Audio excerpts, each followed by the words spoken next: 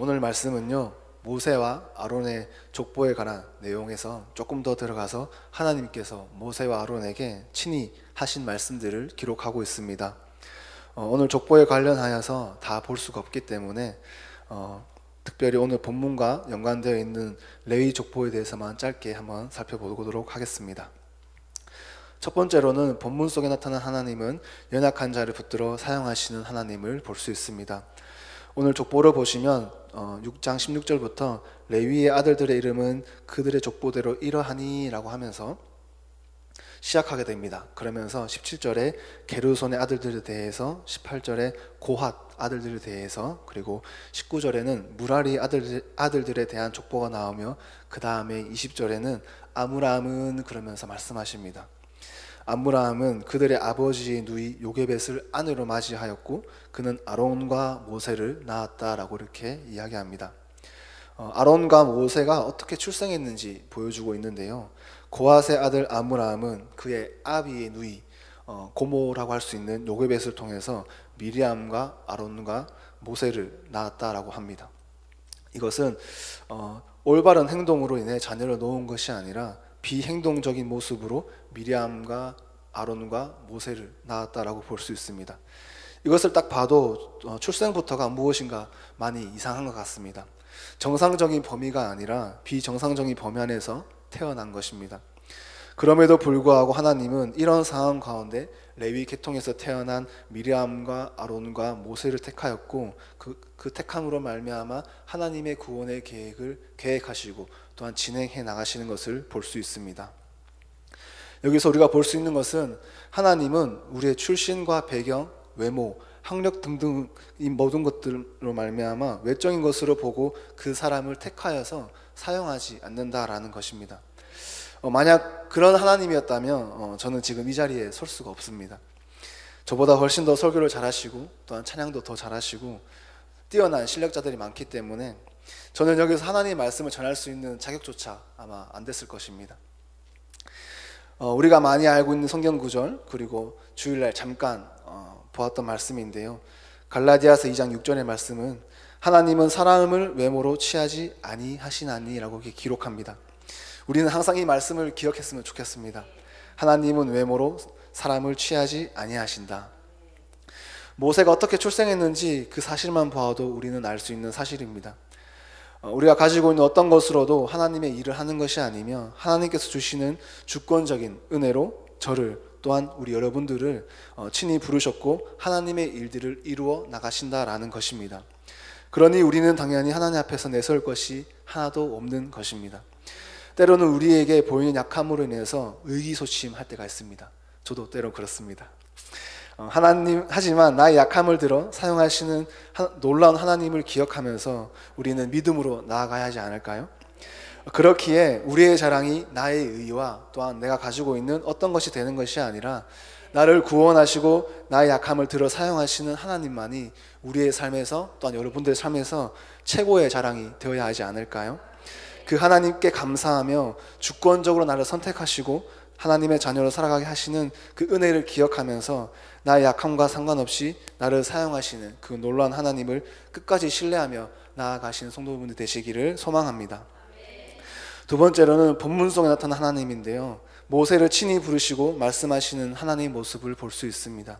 하나님께서 모세에게 직접 하나님께서 모세에게 나타나셔서 직접 바로에게 가서 어, 전할 말들을 가르쳐 주십니다.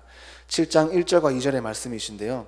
여호와께서 모세에게 이르시되 볼지어다 내가 너를 바로에게 신같이 되게 하였은즉 내 형 아론은 내 대언자가 되리니 내가 내게 명령한 바를 너는 내 형 아론에게 말하고 그는 바로에게 말하여 그에게 이스라엘 자손을 그 땅에서 내보내게 할지니라.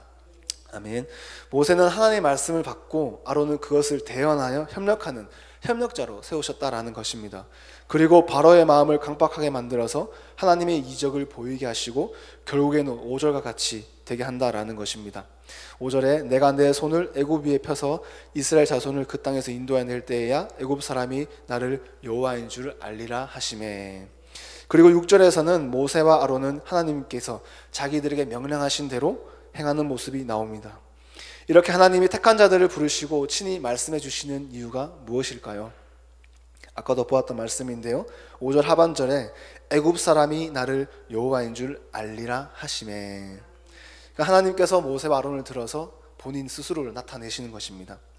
애굽에 있는 모든 사람들이 당장에 바로가 가진 권력을 무서워한다 할지라도 바로와 비교할 수 없는 여호와 하나님, 전능하신 하나님이심을 친히 그들에게 보이시고 나타내시며 그들로 하여금 깨닫 여호와 하나님임을 깨닫고 깨닫 깨닫고 알게 하기 위함이었다라는 것입니다. 그렇다면 오늘 우리에게도 하나님께서 택함 받은 자들로서 또한 구원의 은혜를 입은 자들로서 하나님이 우리에게 친히 말씀하시는 것들, 우리를 통해서 하시고자 하시는 것들이 있지 않을까요? 모세, 모세에게 그것은 이스라엘 민족을 구원해내는 것, 그리고 하나님이심을 나타내 보이시는 것이었습니다. 오늘 우리에게 있어서 하나님이 나에게 말씀하시거나 마음속으로 감동 오는 것들이 무엇이 있는지 한번 곰곰이 생각해 보시길 바랍니다. 하나님께서 친히 우리를 택하시고 부르셨다는 것을 믿으면 오늘 하루 세밀하게 말씀하시고 그 하나님의 음성에 우리가 귀를 기울이고 나에게 원하신 것들이 있고 그것을 발견한다면 지체하지 말고 우리는 믿음으로 행해야 하는 것입니다. 모세를 통해 하나님이 일하시고 여호와 이스라엘 하나님이심을 알리시고 역사하신 여호와 하나님의 주권을 주권적인 그 일들을 바라보면서 우리에게도 이와 같이 내가 믿는 하나님, 내가 섬기는 하나님, 내가 사랑하는 하나님을 나타내며 증거할 수 있는 그런 믿음의 도전이 우리에게 있기를 간절히 소망합니다. 그래서 오늘 우리에게 주시는 어, 삶의 적용인데요. 하나님이 나를 통해 하실 일들을 우리가 바라보며 그것을 믿음으로 순종하며 나아가야 한다라는 것입니다. 처음에 보았던 말씀처럼 출생부터가 순탄치 아니하는 미리암과 아론과 모세를 통해서 하나님은 구원의 계획을 세우시고 그 계획대로 하나하나 조금씩 조금씩 그런 일들을 이루어 나가십니다. 그 모습을 우리는 보고 있고 약속의 말씀과 전능하신 하나님을 나타내 보이며 이루어 가시는 하나님의 모습을 우리는 볼 수 있습니다. 그리고 그리고 7장 6절의 말씀처럼 모세와 아론이 여호와께서 자기들에게 명령하신 대로 행하였더라. 모세와 아론은 하나님께서 자기들에게 명령하신 대로 행하는 모습을 우리는 보게 됩니다. 사실 한 나라의 왕한테 다가가서 백성들을 내보내라 말하는 것은 상당히 어려운 일일 수도 있습니다. 위험한 일이, 될 수도 있고 때로는 생명의 위협을 어, 가져다 줄 수 있는 상황이지만 모세와 아론은 그것들을 다 감내하면서까지 하나님의 말씀을 전하는 모습을 우리는 보게 됩니다. 우리는 이 모습을 기억했으면 좋겠습니다. 때로는 우리의 모습이 연약하여져서 의기소침할 때가 있지만 그러한 모습들은 우리가 가져서는 안 되는 것이며 하나님은 실력으로 사람을 택하 사용하는 것이 아니라 그것과 전혀 상관없이 주권적인 은혜로 하나님을 택하시고 사용하신다라는 것입니다. 우리가 연약하고 부족하다고 해서 하나님의 일들이 우리를 통해서 나타나지 않으라는 법은 없지 않습니까? 나 연약한데 나도 연약한데 나도 부족한데 그럼에도 불구하고 나를 들어 사용하시는 그 하나님을 향해서 우리는 소망을 품고 하나님의 일들을 이루어 나가면 그만큼 하나님께서 기뻐하실 일은 없을 거라고 믿습니다.